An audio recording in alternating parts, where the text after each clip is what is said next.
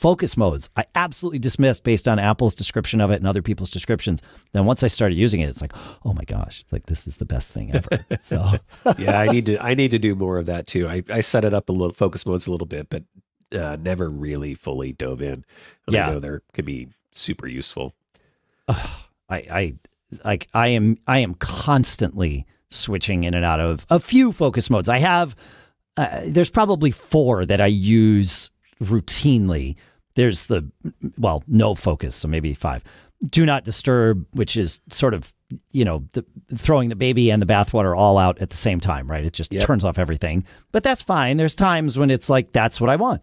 Um, the sleep one, uh, I use my old Series 8 Apple Watch to track my sleep. And so it's great to have that, but also just not having, you know, my alerts come through while I'm sleeping is good.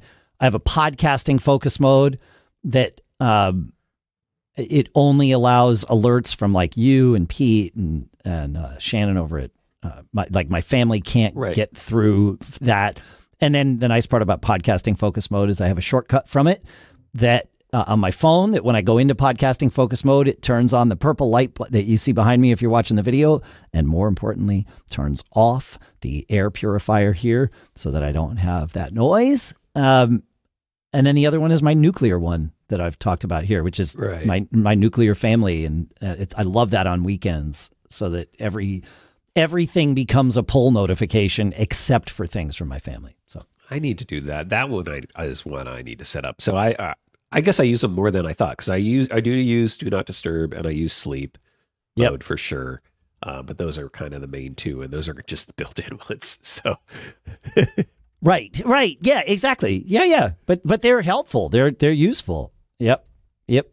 I um I I, I I've I've really I I keep thinking about oh, I created a conference one. I think I talked about that here where like I I turned in instead of allowing things through, I blocked certain things and most of it was all my smart home stuff like I need my notifications when I'm at a conference for like most of my notifications. I don't need to know when someone's in my driveway.